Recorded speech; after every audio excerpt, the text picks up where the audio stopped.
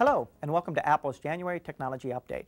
My name is John Perenica, and I'll be your host today as we look at Macintosh OS directions, specifically Mac OS 7.6.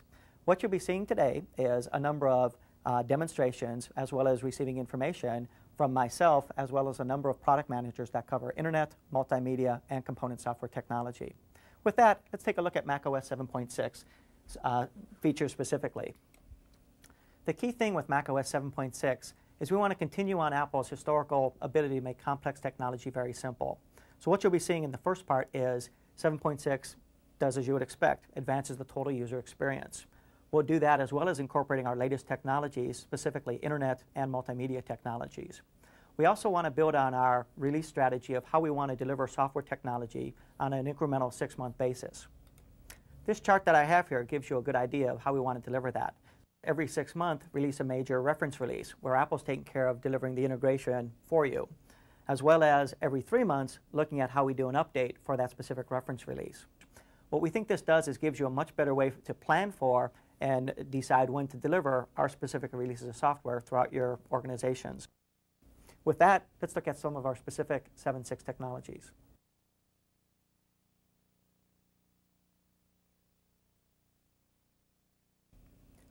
Along with making macOS 7.6 a lot easier to use, we've also improved the install process.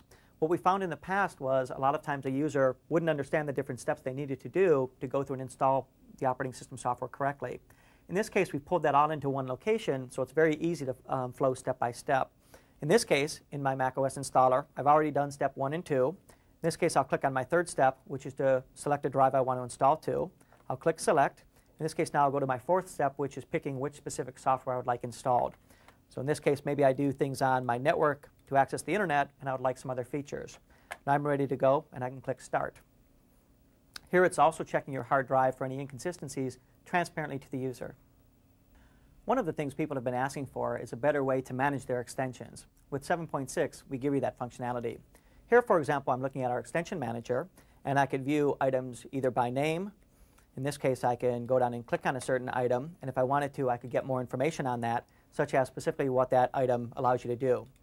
I can also look at items by, for example, by folder, as they're typically organized in the system folder, in this case by either control panel or by the extensions control panel. Or maybe what I want to do is look at those as I installed them on my system, or in other words, as, as the package that they were installed. So let's say in this case I was using Apple Remote Access, and I either wanted to turn all those pieces on or off. I could do that simply with one click. Another nice feature is the ability to save our sets. In this case, what I can do is create a new set and call it whatever I'd like to and save that set. So in this case, I can go back and look at a folder that has the specific different sets I have installed. This way I can use these specific configuration files to ensure different machines in my organization have the same settings installed. Another nice feature of macOS 7.6 is the new printing features that have been included. In this case, what's nice is as I sent a, sent a document to print, I might decide that I really wanted to send that to an alternate printer. Well, I can select that now from a dialog box um, at this stage in the printing process. What's also nice is I could look at some of the other features um, associated with these printers. In this case, for example, maybe I want to look at the layout and change that to have it print four pages per sheet. Another feature is I can look specifically at a printer and get some better information about that. So in this case, I might want to get some printer information, specifically status information. In this case, maybe where the printer is located or how much memory might be on that uh, printer, as well as maybe the different fonts that would be installed there. Another nice feature included in macOS 7.6 is our Apple System Profiler. What the System Profiler is helpful for is determining what type of information is installed on your computer, both from a hardware or software perspective. So in this case, we can look at um, some of the system information that happens to be on our machine, we could also go down and select other types of information, for example, device information or volume information for what's on our hard drives. What's very nice about this is our customer care code, where just by reading back this 16-digit number, all this information can be transmitted to an Apple Care representative.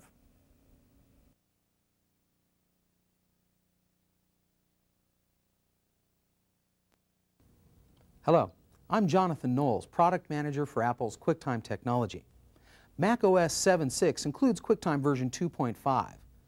QuickTime version 2.5 continues a tradition of bigger, better, smoother, more innovative multimedia technology from Apple. Most people's perception of QuickTime is small, jerky, postage stamp video playing on their computer screen.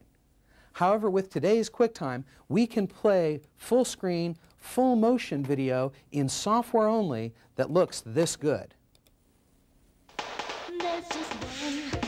No mistaking it one. Just no faking it one. But bigger, better, smoother is only one of the ways we can innovate with QuickTime technology. Another is by supporting different media types. For example, QuickTime has a text track, and with QuickTime 2.5, we have an API that allows capturing closed caption information directly into the text track at the time you digitize the video.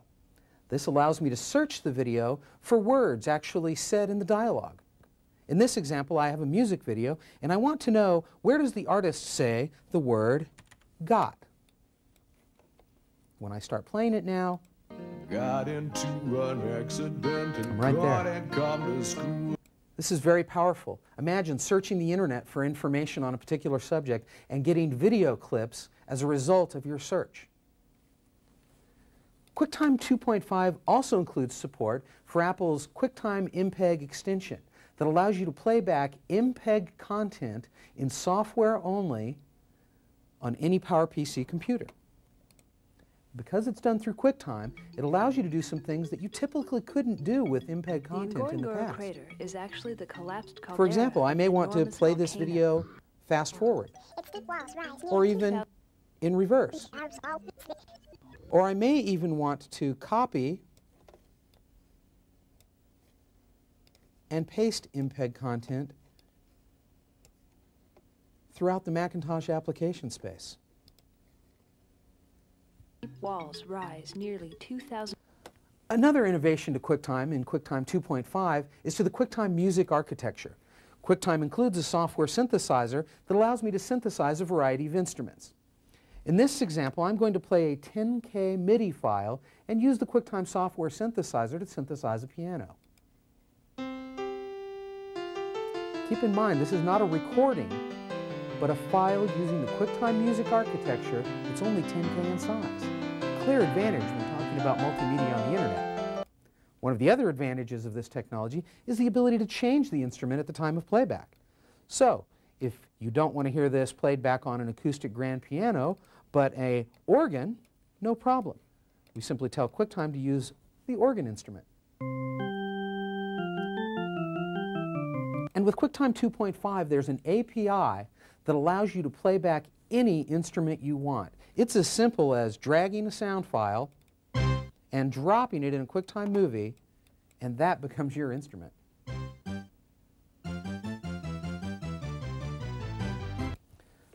There's lots of new exciting features in QuickTime 2.5.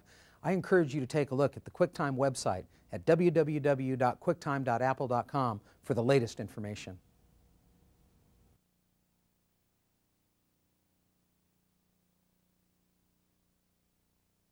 Hi, my name is Richard Ford, and I'm the product manager for Open Transport. I'm going to talk for a minute or two about networking in macOS 7.6. New with macOS 7.6 is Open Transport, which is now included as a standard part of every system installation. Open Transport was first introduced in 1995 with the PCI Power Macs and has been included with larger and larger numbers of systems as time has progressed. This is the first release where Open Transport is the default install on all systems. Open Transport offers new human interface, which we'll take a look at shortly, um, new protocol implementations, and standards-based APIs. Open Transport also runs on older macOS versions, including 7.1, 7.5.3, and 7.5.5. Let's take a look at some of the human interfaces differences between Open Transport and the older networking system. In particular, Open Transport has replaced the network control panel and the MacTCP control panel that were familiar with classic networking with new control panels, the AppleTalk control panel and the TCP/IP control panel. The human interface has also been now enhanced so that it shows you only those parameters that you need to enter and makes it easier to make error-free configurations. To see the available configurations and to select one, go to the File menu and select Configurations. You can then use the arrow keys or the mouse to select a configuration that's saved and make it active. macOS 7.6 also includes the new Open Transport PPP software, which makes it so that you can connect your Macintosh to the internet over a modem. One of the other features that's a benefit of Open Transport is that it takes aggressive use of Apple's help systems. So let's take a look at an example of how Apple Guide can help you in configuring Open Transport PPP. One of the first steps that you need to do in setting up PPP is to configure and tell Open Transport what type of modem you have. So let's look at the various, let's look at Apple Guide helping you step through the various steps that you need to take in order to configure that part of your system. Apple Guide guides you through each of the different pieces that you need to customize. And then once you press, at the as a final step, has you control, close the control panel, which saves the configuration settings and leaves you ready to take your next step. Open Transport also includes new features for network managers, the most notable of which is the Advanced Administration Mode. The Administration Mode allows the network administrator both to password protect the network configuration and to lock individual parameters of Open Transport. This can be used to minimize the number of errors that might get made um, when a user has to customize just one parameter of a system. When you, the user mode is set back to either basic or advanced, you'll find that if the administrator has locked particular parameters, they are no longer editable.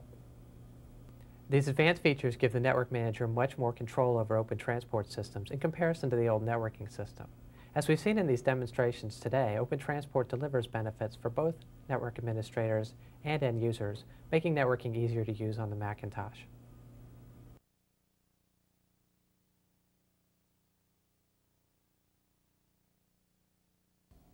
Hi, I'm Adam Fingerman. I work in the AppleNet Product Marketing Group.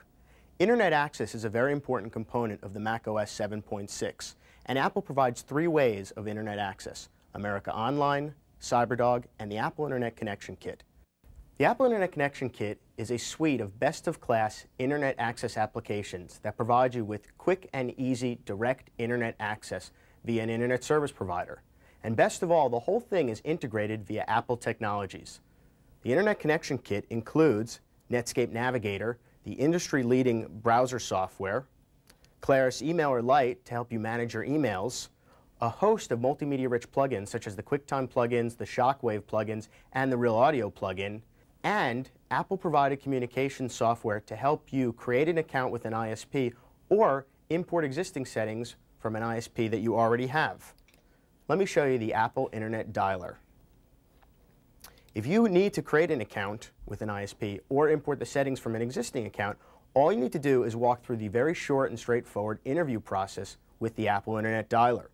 The first thing you'll do is pick your modem type, select the modem port, indicate whether you have touch tone or pulse, and click on Create an Account.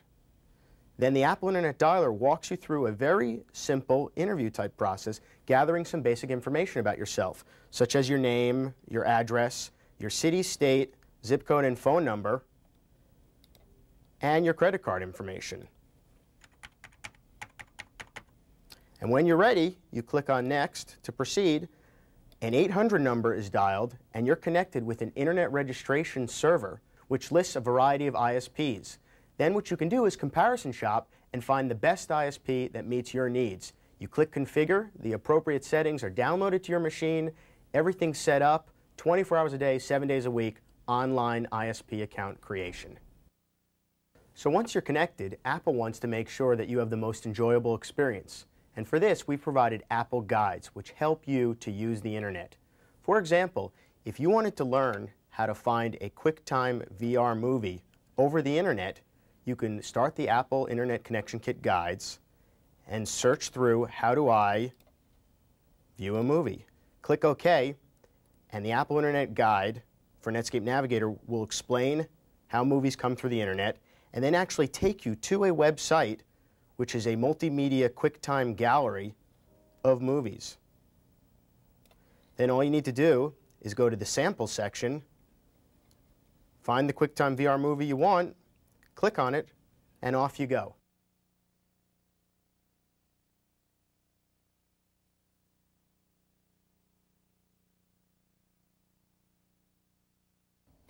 Hi, I'm Jim Black, Component Software Evangelist for Apple Computer, and I'm going to talk to you about one of the most exciting technologies of Mac OS 7.6, something called OpenDoc.